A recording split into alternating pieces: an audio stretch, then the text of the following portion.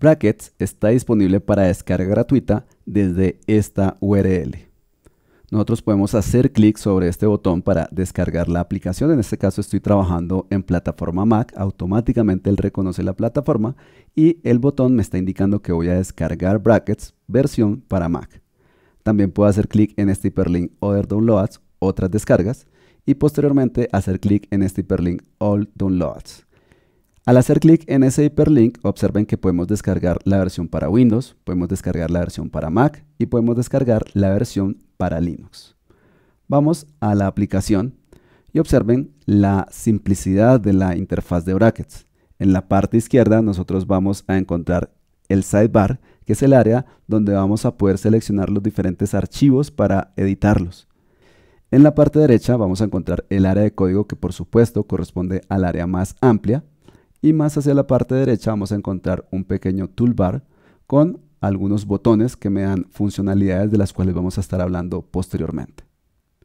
Yo puedo ocultar si necesito en algún momento este sidebar y para eso utilizo el atajo de teclado comando Shift H, aquí lo estamos ocultando, o bajo el menú View yo puedo seleccionar la opción Hide Sidebar u ocultar sidebar.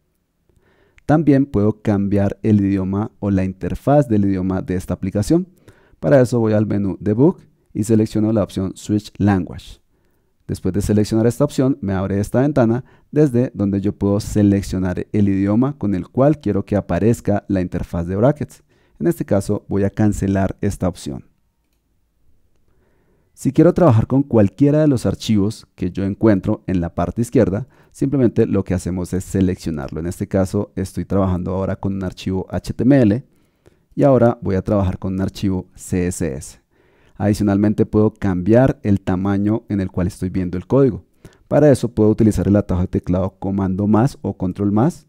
De esta manera ampliamos el tamaño del código o comando menos si estoy trabajando en Mac o control menos si estoy trabajando en Windows. Esto funciona para cualquier tipo de archivo con el cual yo estoy trabajando. Observen que aquí estoy trabajando con un archivo CSS y anteriormente estoy trabajando con un archivo HTML. Como pueden ver, la interfaz de brackets es bastante simple, bastante clara y bastante limpia.